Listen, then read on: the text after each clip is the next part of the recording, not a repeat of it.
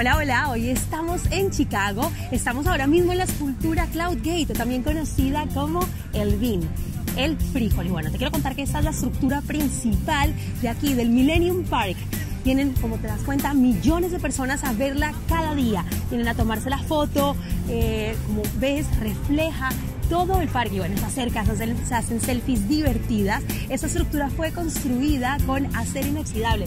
Pesa más de 98 toneladas, como ves. No se alcanzan a ver las juntas con la que se construyó dado que luego lo pulieron todo al detalle. ¿Y sabes a qué me acuerda?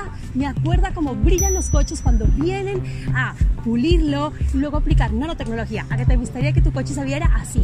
Que reflejara así todas las vistas, toda la calle, que cuando te acercaras pareciera un espejo. Pues ya sabes, ven al vato y limpia tu coche, déjalo como nuevo y aplica nanotecnología protectora que va a ayudar a que brille de esta manera.